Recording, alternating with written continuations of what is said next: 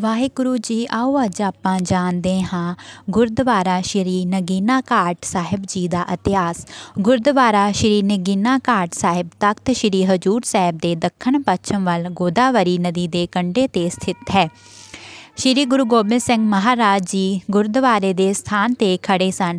ਗੁਰੂ ਗੋਬਿੰਦ ਸਿੰਘ ਜੀ ਨਦੀ ਦੇ ਵਹਾਅ ਨੂੰ ਦੇਖ ਰਹੇ ਸਨ ਅਤੇ ਕੁਝ ਸਿੱਖ ਉਹਨਾਂ ਨਾਲ ਹਾਜ਼ਰ ਸਨ।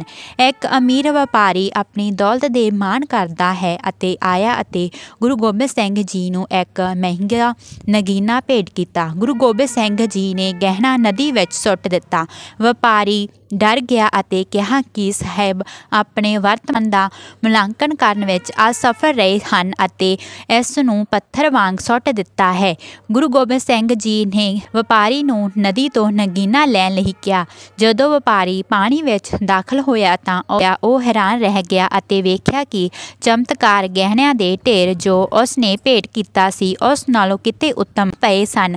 ਆਪਣੇ ਝੂਠੇ ਹੰਕਾਰ ਤੋਂ ਮੁਕਤ ਹੋ ਕੇ ਵਪਾਰੀ ਗੁਰੂ ਗੋਬਿੰਦ ਸਿੰਘ ਜੀ ਦੇ ਪੈਰੀ ਪੈ ਗਿਆ। ਵਪਾਰੀ ਸਮਝ ਗਿਆ ਕਿ ਗੁਰੂ ਗੋਬਿੰਦ ਸਿੰਘ ਜੀ ਮਨ ਅਤੇ ਤਨ ਦੋਵਾਂ ਪੱਖੋਂ ਮਨੁੱਖੀ ਧਨ ਤੋਂ ਪਰੇ ਹਨ। ਉੱਚੇ ਥੜੇ ਤੇ ਖੜੀ ਮੌਜੂਦਾ ਇਮਾਰਤ ਵਿੱਚ ਇੱਕ ਵਰਗਾਕਾਰ ਹਾਲ ਹੈ, ਜਿਸ ਵਿੱਚ ਸਫੇਦ ਸੰਗਮਰਮਰ ਦੀ ਛੱਤ, ਛੱਤੀ ਹੋਈ ਪਾਲਕੀ ਤੇ ਗੁਰੂ ਗ੍ਰੰਥ ਸਾਹਿਬ ਜੀ ਵਿਰਾਜਮਾਨ ਹਨ ਅਤੇ ਪਹਿਲੀ ਮੰਜ਼ਲ ਤੇ ਇੱਕ ਗੋਬਿੰਦ ਦੇ ਨਾਲ ਇੱਕ ਛੋਟਾ ਵਰਗਾਕਾਰ ਕਮਰਾ ਹੈ।